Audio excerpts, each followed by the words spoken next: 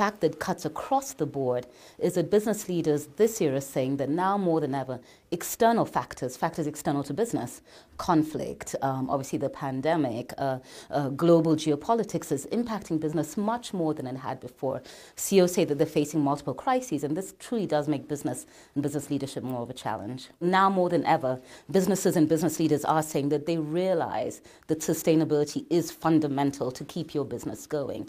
They do realize it's important to operate in a multi-stakeholder partnership. It's, they realize the importance of the multilateral system in terms of keeping not only politics and st stable policies, but also actually the business environment going. Uh, businesses and business leaders saying they do think it's really important that you know, they're able to keep their supply chain stable. I think one of the biggest issues is that disruption in the supply chain that's happened to many of our businesses.